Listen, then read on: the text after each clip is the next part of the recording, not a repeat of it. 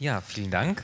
Äh, dann kann gleich anschließend der Dennis äh, uns eine Perspektive doch noch auch aus der grünen äh, Sicht geben. Ähm, Dennis Grieser ist auch studierter Rechtsanwalt äh, kommt äh, eigentlich aus Mainz, ähm, hat in Mainz auch studiert, ähm, hat auch eine eigene äh, Rechtsanwaltskanzlei, allerdings ruht das, denn äh, parallel zu seiner juristischen Ausbildung war er Vorsitzender der Grünen Jugend Hessen, später dann Stadtverordneter in Rüsselsheim, wo er jetzt sogar hauptamtlich äh, arbeitet als Bürgermeister der Stadt Rüsselsheim. Ähm, und ja, kann uns dann seinen persönlichen Einblick in Arbeit in und mit der Partei geben.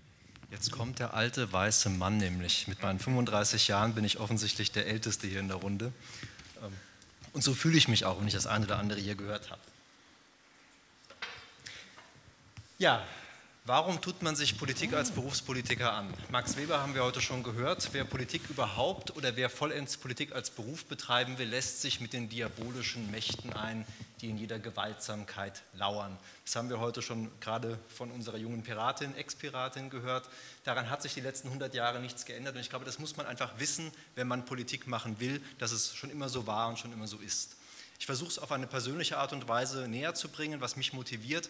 Es wäre schön, wenn man sagen könnte, 86, Tschernobyl war der Grund, warum ich Politik gemacht habe. Da war ich sieben Jahre alt, das hat meine Mutter mehr bewegt als mich. Ähm, meine ersten politischen Gedanken kamen eigentlich erst zwei Jahre später bei den Olympischen Sommerspielen, als mir aufgefallen ist, da gibt es zwei deutsche Teams, die antreten. Und für einen Neunjährigen, der damit nichts zu tun hatte, war das ganz seltsam. Und da habe ich begonnen, mich mit meiner Umwelt wirklich zu beschäftigen. Und 89 ist als Negativbeispiel angeführt worden. Für mich war das eigentlich damals als Zehnjähriger das Zeichen, dass, man, dass die Welt sich verändern kann und dass nicht alles so gleich bleiben muss, wie es ist. Und das ist für mich ein ganz motivierender Faktor gewesen.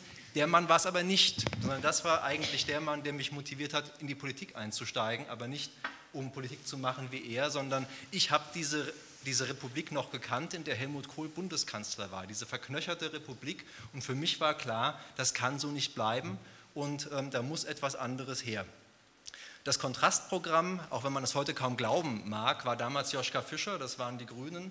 Das war nicht nur der Turnschuh, das war das, der ganze Habitus, wie Politik auch anders gehen kann.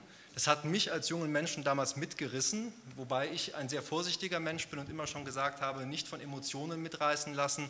Ähm, der Eintritt in eine Partei ist keine Liebeshochzeit, ähm, sondern das ist aus meiner Sicht das ein, ein Übel, das man eingehen muss. Thomas Jefferson hat gesagt, wenn ich nur durch eine Partei in den Himmel kommen könnte, würde ich dort gar nicht hingehen. Aber für das eine oder andere, was nicht der Himmel ist, braucht man eine Partei.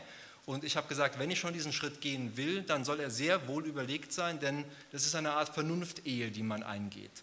Ähm, ich habe mich mit allen Parteiprogrammen als 14-Jähriger auseinandergesetzt. Damals gab es noch kein Internet, die habe ich mir noch per Post kommen lassen. Das FDP-Programm hat sich super gelesen. Und wenn es nach dem Grundsatzprogramm gewesen, gegangen wäre, wäre ich vielleicht auch da gelandet.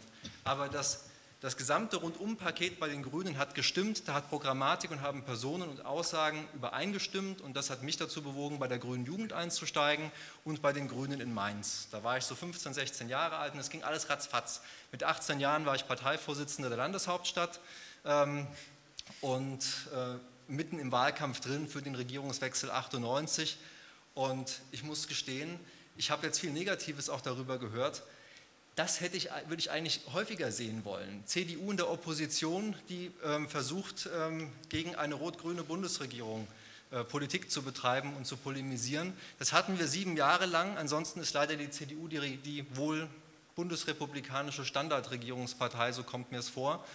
Ähm, aber damals war es anders. Und in diesen sieben Jahren ist unglaublich viel passiert. Die eingetragene Lebenspartnerschaft ist gekommen, der Atomausstieg, die Arbeitsmarktreform, Erneuerbares Energiengesetz, das neue Staatsbürgerschaftsrecht, Verbraucherschutz ist Thema geworden, Agrarwende, das, die Ökosteuer ist gekommen. Ähm, all das war Rot-Grün in diesen sieben Jahren. Das hat mein Vertrauen in Politik gestärkt, dass politische Mehrheitsverhältnisse auch eine andere Realität hervorbringen können. Ich bin dann 2001 in die niederen Gefilde der Kommunalpolitik eingestiegen. Ähm, und da geht es nicht um Hundekot, da geht es auch nicht um Kanaldecke, sondern da geht es um die konkreten Belange der Bürgerinnen und Bürger in einer Stadt. Und da bin ich auch dabei geblieben über die ganze Zeit. Das hat mich nicht davon abgehalten, Ausflüge zu machen auf die Landesebene. Ich bin, ich glaube, in einer der ersten Kampfkandidaturen Landesvorsitzender der Grünen Jugend Hessen geworden. In der zweiten Kampfkandidatur ein Jahr später nicht mehr wiedergewählt worden. So kommt das halt manchmal. Aber in diesen Jugendorganisationen lernt man, wie es zur Sache geht. Und das muss man mitbringen. Und dieses dicke Fell muss man sich zulegen, sonst wird man in der Politik nicht bestehen können. Und für mich war es aber auch immer wichtig, nicht auf Politik als Beruf angewiesen zu sein. Denn nichts ist schlimmer als die, die von Parlamentsmandat zu Parlamentsmandat hüpfen müssen, weil sie sonst keine Perspektive haben. Deswegen habe ich mich 2006 mit einem Kollegen selbstständig gemacht und erst als das in trockenen Tüchern war und ich gesagt habe, ich bin von dieser Partei nicht existenziell abhängig, habe ich gesagt, ich kann auch den Sprung in die Berufspolitik wagen. Ich bin jetzt Bürgermeister und zuständig für Kinderbetreuung, Jugend, Seniorinnen und Senioren, Soziales, Gesundheit, Bildung, Kunst und Kultur in einer 60.000 Einwohnerstadt. Das ist ein extrem vielfältiges Tätigkeitsfeld und dafür bin ich auch der Partei sehr dankbar, dass sie mir diese Möglichkeit gibt, weil es kaum einen Beruf gibt, in dem man mit so vielen verschiedenen Dingen Tag aus, Tag ein beschäftigt wird. Krankenhaus, Theater, 21 Kindertagesstätten, Volkshochschule, Seniorenresidenz, Stadtarchiv, 17 Schulen, Musikschule, Jugendamt, Stadtbücherei, Museum. Das ist eine Bandbreite, ähm, die findet man normalerweise im Beruf nicht. Und man kann das umsetzen, wofür man angetreten ist. Chancengleichheit schaffen.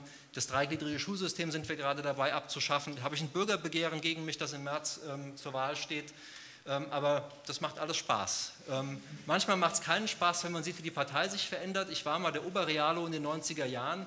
Mittlerweile habe ich das Gefühl, dass ich eher in der linken Hälfte der Partei angekommen bin, aber auch das gehört dazu. Zeiten wandeln sich und ähm, das muss man so zur Kenntnis nehmen und mitgehen, solange es eben geht und die Distanz nicht zu groß wird. Politik ist für mich, das gebe ich ganz offen zu, auch eine Art von Droge. Ähm, wenn man erst einmal angefixt ist, dann ist, fällt es sehr schwer davon loszulassen. Wir haben es ja auch gerade gehört. Ähm, da ist man nicht bereit, einfach loszulassen, auch wenn es mal ein bisschen heftiger zugeht. Und äh, so wie, wie manche Autofahrer den Geschwindigkeitsrausch braucht, braucht ein Politiker eben halt auch ähm, die Tätigkeit. Das gehört einfach zum Persönlichkeitsbild dazu. Und die ganze Kritik, die Demokratie ist die schlechteste aller Staatsformen, ausgenommen alle anderen, die ganze Kritik, die geäußert wird, trifft sicherlich oft und in vielen Punkten zu. Aber das System, das wir haben, funktioniert und ich bin fest davon überzeugt, dass es funktioniert und dass es auch reformfähig ist. Und wer damit eben nicht konform geht, schlechte Kandidaten, Kandidatinnen müsste man ergänzen, werden von Bürgerinnen und Bürgern gewählt, die nicht zur Wahl gehen. Der darf sich aber auch nicht beschweren, wer sich nicht einbringt. Und ähm, ich erlebe das halt viel zu oft. 60 Prozent der Wähler gehen nicht zur Kommunalwahl, kommen aber dann zu mir, um sich zu beschweren. Und das ist immer meine erste Frage, wann sie wählen. Dann gucken sie immer ganz dumm. Ähm, ich kann immer nur sagen, Politik ist wie ein Spiel, man muss die Spielregeln kennen, dann macht es auch Spaß und man muss den Ball halt hochnehmen und mitspielen. Und ansonsten, wenn man halt das, die Regeln nicht kennt und wenn man nur von außen zusieht, dann wirkt das manchmal etwas befremdlich. Ähm, aber es ist jedem selbst überlassen, ob er seine Zeit, seine Freizeit da rein investieren will oder nicht. Ich habe es getan, ich bereue es nicht. Und wenn Sie anderes mit Ihrer Zeit zu tun haben, kann ich damit auch gut leben.